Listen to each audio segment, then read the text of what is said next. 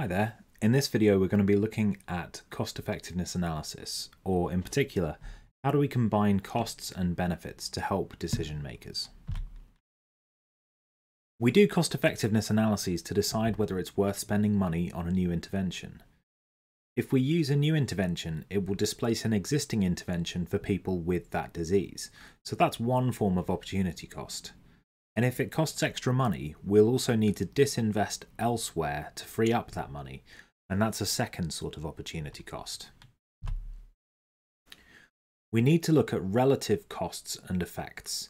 Interventions aren't evaluated in isolation, they must be evaluated relative to an alternative. And we use a cost effectiveness threshold to deal with the opportunity cost of getting money from elsewhere. The incremental cost effectiveness ratio, called the ICER, is the ratio of the incremental costs and the incremental effectiveness. As shown here in the formula, it's the change in costs divided by the change in benefits. And assuming that a new intervention increases benefits and costs, a lower ICER is better because it means the intervention is more efficient. There's a concept called dominance, if option B is cheaper and generates more benefits than option A, we would have no reason to choose option A. B dominates A and A is dominated by B. No matter what our cost effectiveness threshold, we will always choose option B in this case. What about when we have more than two options? Here we've got three options, A, B and C, and they're plotted on a graph with their costs and benefits on the y and x axes. In this case, we might think that B could be worth investing in, but if we think about a hypothetical blend of A and C, we could find one which dominates B. This hypothetical point, which I've shown here as A squiggle C, would dominate B, so we say that B is extendedly dominated by A and C. The cost efficiency frontier is the set of options which are neither dominated nor extendedly dominated, and we only calculate ICERs for options that are on the cost efficiency frontier.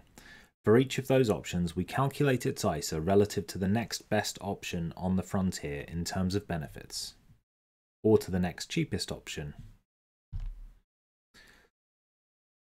So let's take a look at this example with five different options.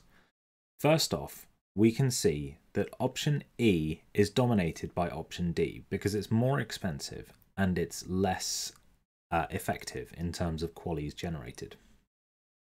Next, we would notice that B is extendedly dominated by A and C, and you can check that for yourself. That means that our cost efficiency frontier is A, C, and D, we don't calculate incremental costs, QALYs, or an ICER for A. We say that's the referent strategy. For option C, we calculate its incremental costs and incremental QALYs versus A and conclude it has an ICER of $50,000 per QALY. For option D, we now compare it to option C, and we find that it has an incremental cost effectiveness ratio of $100,000 per QALY. And this means that if our cost effectiveness threshold is less than £50,000 per QALY, we should choose option A. Whereas if our cost effectiveness threshold is between $50,000 and $100,000 per QALY, we should choose option C. And if our cost effectiveness threshold is over $100,000 per QALY, we should choose option D. We've talked about the ICER, and here are some pros and cons. So you can calculate the ICER without knowing the cost effectiveness threshold. Although it can be argued that it's not useful unless you know what that cost effectiveness threshold is. It also tells us something about the efficiency of an intervention. There are some downsides, however.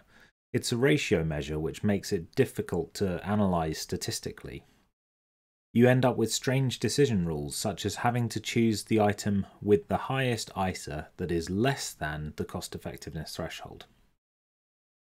And a negative ICER can occur when an intervention is dominant or when an intervention is dominated, so very hard to interpret a negative ICER.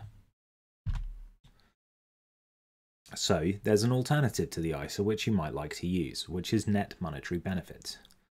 If we know what our threshold is, then we can rearrange our calculation. So instead of, as shown in the first equation here, calculating the ICER, which is the change in costs divided by the change in benefits, and asking is that less than the cost effectiveness threshold here shown as lambda, instead if we multiply both sides through by the change in benefits, assuming that that's positive, and then we move that change in costs over to the other side, we instead get this equation, which is asking is lambda times the change in benefits minus the change in costs greater than zero? And we call that quantity the incremental net monetary benefit. And so you'll see that when the incremental net monetary benefit is positive, that means that the ICER has to be less than the cost effectiveness threshold. So the decision rule has been rearranged from being in terms of the cost effectiveness threshold to being related to zero. If the incremental net monetary benefit, or INMB, is positive, then the intervention is cost effective. We can calculate the INMB from incremental costs and benefits, or if we want, from absolute net monetary benefits, as we see here in these equations. The change in benefits is just B1 take away B0. The change in costs is just C1 take away C0. We can then rearrange this to get this quantity here, take away this quantity here. Um, this quantity is just the net monetary benefit of intervention 1, not taking into account the relative benefits or the relative costs. These are just absolute benefits and absolute costs and here the net monetary, net monetary benefit at zero. So, some pros and cons of net monetary benefit. The decision rule is now very simple. You just need to know which intervention has a positive incremental net monetary benefit, or if you have more than two options, which has the highest net monetary benefit. The distribution of the incremental net monetary benefit is often normal or close to normal, which helps for statistical purposes. Unfortunately, the net monetary benefit doesn't tell you if any of the options are dominated or extendedly dominated. And you do need to pre-specify lambda or present results across a range of lambda values. Your next steps then are going to be to learn about sensitivity analyses.